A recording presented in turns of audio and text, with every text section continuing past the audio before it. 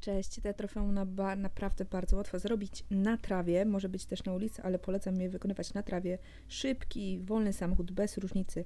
I po prostu e, zaczynając od bardzo małej prędkości, e, kierujecie w lewo, w prawo, w lewo, w prawo, w lewo, w prawo, e, w wyniku czego samochód będzie się ślizgał, powinien zosta- zostawiać e, po sobie e, ślady hamowania, ślady opon. E, Pokażę Wam to zaraz na drugim, na drugim filmiku, ponieważ e, lepiej to będzie widać na, e, na właśnie na ulicy.